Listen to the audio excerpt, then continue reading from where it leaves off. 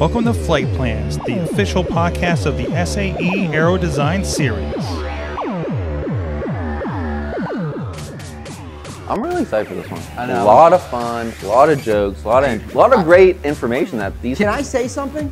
May I say something? I'm Mike, I'm Scott. and this is CDS Action News May Edition.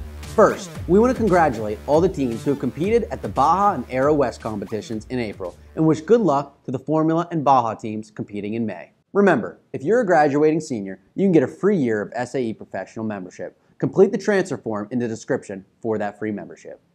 Remember to have your team's fast track roster printed and signed by your team prior to arriving on-site registration. Remember to like, subscribe, and follow us on TikTok and Instagram at SAE underscore university programs. Now let's see why Honda is excited to sponsor FSE and meet all the students.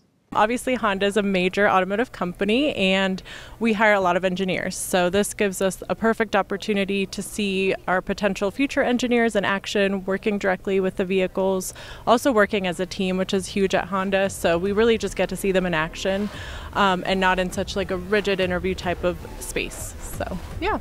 Thanks, Honda. I'd be excited too. Well, that's it for us. See you next month.